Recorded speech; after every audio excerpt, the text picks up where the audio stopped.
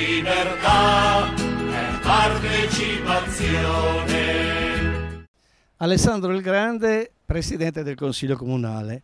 Un ruolo particolarmente difficile perché deve tenere a freno sia la maggioranza sia l'opposizione e poi portare in discussione nei vari consigli comunali problemi importanti ma anche problemi quotidiani perché un comune, una città vive di problemi quotidiani. Come se la sta cavando? Beh, innanzitutto sono stati quattro anni importanti anche personalmente perché comunque è un ruolo super partes. Devo dire che si è stabilito con tutti i consiglieri, con l'amministrazione, con il sindaco un equilibrio che sicuramente eh, ha portato a lavorare con eh, tranquillità ma soprattutto con profitto perché comunque sono state tante le, le iniziative che sono state discusse e portate all'attenzione del Consiglio Comunale. Qui ci troviamo nella terrazza del casino municipale perché oggi è un giorno importante. Ecco, abbiamo anche il maître qua, lo chef. Venga, venga pure, venga pure, che così ci omaggia di questo calice di buon vino. Ma perché siamo qua? Siamo qua perché oggi è stata inaugurata questa terrazza, che era una, una terrazza veramente storica, che è rimasta quasi inattiva. Prendiamo perché il calice porta fortuna, Presidente Grazie, ne abbiamo anche uno per il nostro Paolo, il nostro cameraman che poi brinderà anche lui. Perché? Perché questa terrazza qui è, è, storica, è una terrazza che si affaccia proprio su eh, via Matteotti, è una terrazza che è il balcone che il balcone più bello di Sanremo, il balcone più bello di Sanremo. E su questa terrazza qui dove noi insieme al Presidente del Consiglio eh, Alessandro il Grande facciamo un brindisi, ma facciamo un brindisi ricordando anche un personaggio storico qui che, eh, San, che amava Sanremo e che Sanremo deve tanto, Pirandello. Pensate che Pirandello su questa terrazza negli anni 30 dove era stato chiamato dal comune di Sanremo e dal direttore del casino negli anni 30, era stato chiamato per fare una consulenza per il, la cultura e il teatro, perché il teatro del Casino di Sanremo era un teatro importante. Quasi tutte le compagnie teatrali venivano qui a fare il numero zero, quando provavano delle nuove compagnie. Venivano qui perché il pubblico teatrale di Sanremo aveva veramente il metro se un'opera andava bene o andava male, da, dagli applausi del numero zero delle prove e, e gli organizzatori eh, sapevano se avevano successo in Italia e all'estero. E qui Pirandello, io appoggio il calice, qui Pirandello si appoggiava da questa terrazza e si fumava il suo sigaro. Erano gli anni 30, è una cosa storica veramente. E qui Pirandello anche aveva maturato così una, un suo amore con Marta Abba, una, una attrice fantastica, nata nel 1900 a Milano, e aveva incontrato qui Pirandello quando lei aveva 25 anni e Pirandello ne aveva già 55 ed è lì era nato un amore, un amore. e Marta Abbas era, eh, aveva anche qui partecipato come direttrice addirittura del, del, centro culturale, aveva preparato anche delle scene per il teatro di Sanremo. La storia, però veniamo al presente, però la storia non bisogna mai dimenticarla. Esattamente, no, no, questo è un aneddoto importante, penso che oltre personalmente ad essere onorato tutti i cittadini sono, saranno onorati di, di, questa delizia che ci ha raccontato ma soprattutto aver avuto un personaggio come Pirandello qui nella casa di gioco secondo me è un valore aggiunto non solo per il casino ma per tutta la città. Certo, non ha prezzo e ha fatto bene eh, il direttore generale Prestinoni, il presidente del CDA, anche i presidenti precedenti a voler ristrutturare tutta questa opera perché è storia, è cultura, è vita ed è anche una proiezione verso un futuro diverso, turistico, culturale e anche così di, di immagine all'estero.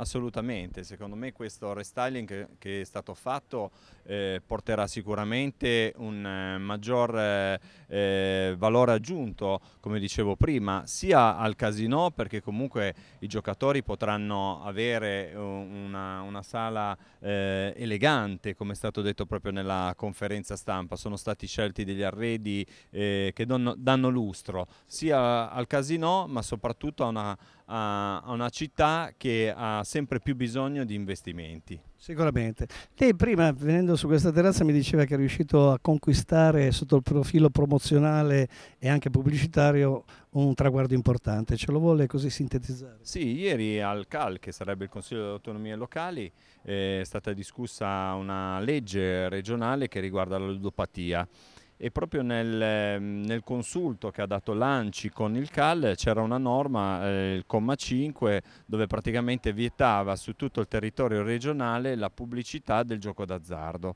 Ora di qui c'è stato da parte mia eh, un intervento, una modifica a questo comma facendo valere che eh, un conto sono eh, le macchine eh, che vengono messe nelle attività commerciali, le slot, le, slot, le videolottere e un, e un altro conto invece è un'attività un'attività come il casino che comunque eh, fa, eh, oltre a un'attività sicuramente da gioco che viene controllata eh, sotto l'aspetto della ludopatia, perché comunque per esempio eh, i familiari possono anche interdire una persona che se non vuole che venga al, casi al casino. Questo è, è, un, è un fattore molto molto importante. E pertanto questa mia, mia, richiesta di far sì che il casino fosse trattato eh, alla pari ma soprattutto avesse la possibilità, perché noi non ci dimentichiamo che abbiamo avuto problemi, per esempio con il casino di Mentone che veniva sotto il casino di Sanremo a fare pubblicità con delle belle ragazze. E voi non potevate fare niente? E noi non, no, noi ci siamo, mi ricordo è stata proprio una mia iniziativa, sono intervenuto eh, con uno scritto sia al casino ma anche al casino di Mentone che non mi sembrava molto opportuno e pertanto poi c'è stato così da parte di tutti eh, la possibilità di chiarirsi e oggi ognuno potrà fare la forma di pubblicità che meglio ritiene, ma soprattutto era, era importante far sì che eh, questa norma non fosse eh, in, applicata al Casino di Sanremo. Che aveva soltanto così delle perdite e non dei guadagni praticamente, era discriminato. Assolutamente sì. Senta, la stagione estiva sta arrivando alle porte. Tra i problemi di Sanremo che purtroppo spesso e volentieri succedono c'è quello dell'inquinamento eh, delle fogne. Com'è la situazione? Perché ho visto che state investendo parecchi soldi proprio per eliminare questi rischi. Bah, io devo dire che il sindaco Biancheri con la giunta si stanno molto impegnando, so che comunque sono stati stanziati dei soldi per far sì che comunque la nostra città non abbia problematiche eh, nella stagione estiva, perché non possiamo dimenticarci che noi, la nostra città vive eh, proprio nel, tutto l'anno, ma specialmente nel, nella stagione estiva, eh, gli stabilimenti balneari una, sono delle attività molto importanti e pertanto sono un volano per l'economia in generale e l'amministrazione ha fatto bene a stanziare e soprattutto intervenire laddove ci sono delle criticità. Senta, lei è da quattro anni che è a Palazzo Bellevue, è la prima volta, però un ruolo importante. Cosa ha potuto capire? Cosa serve a Sanremo così veramente la, come scossa elettrica? Cosa, cosa ci vorrebbe? Beh, eh, sono tante le tematiche che vanno a, a, a ricoprire in un eh, in un'amministrazione della, della, città, mm, oggi siamo al casino, abbiamo tante eh, società partecipate, abbiamo avuto comunque delle problematiche all'interno del comune, come lei ben ricorda, dei licenziamenti, i famosi purtroppo le retate contro i furbetti del cartellino. Sono state tante le, le, tematiche che in questi quattro anni sono state affrontate, però di cose io ritengo che ne siano state fatte e anche molto importanti. Devo dire che il sindaco Biancheri è un sindaco che vive molto la città e, e amato e pertanto ritengo che eh, si, abbia lavorato bene in questi quattro anni, abbiamo ancora un anno per eh, portare avanti eh, delle iniziative importanti per la città e pertanto bisogna tutti insieme eh, passare ancora questo anno e poi decidere il futuro Certo, di, certo. Ecco, e proprio sul tappeto ci sono delle iniziative importanti a livello anche economico, come si parla di ristrutturare il Porto Vecchio, delle, delle prospettive anche che possono cambiare la mobilità interna, nuove strade, nuovi parcheggi. Queste pratiche però arriveranno in Consiglio Comunale? Io penso proprio di sì, penso che come ha detto ben lei il, il, porto è molto importante, non solo, poi abbiamo anche il palazzetto dello sport che comunque all'ordine del giorno dell'amministrazione, le telecamere nelle frazioni, nella pista ciclabile.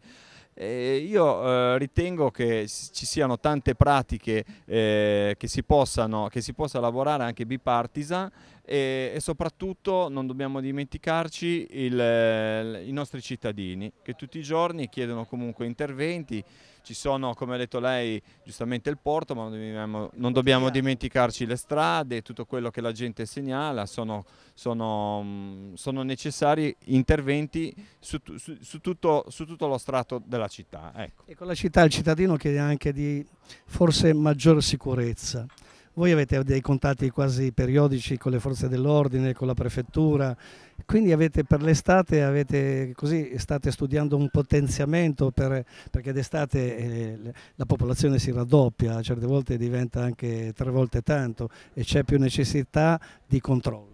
Ma guardi, questo è un argomento che mi trova abbastanza preparato perché proprio in questi quattro anni ho dato una mano al sindaco sulla sicurezza perché è una tematica a me cara e da tanti anni proprio che, che seguo.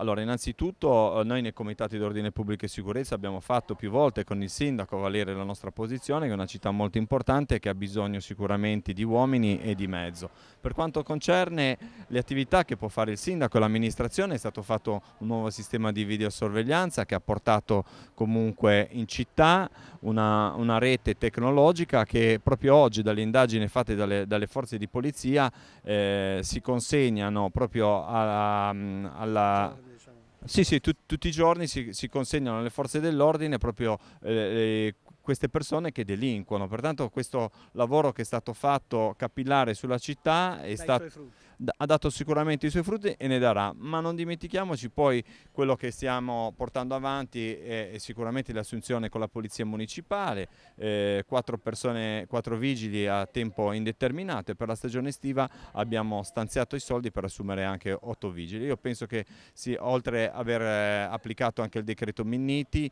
eh, aver cambiato il regolamento di polizia urbana. Quindi più sicurezza. Io vorrei pregare Paolo, vedete che si sta popolando questa terrazza. Il primo giorno giorno e sta dando i suoi frutti perché è uno spazio veramente vivibile.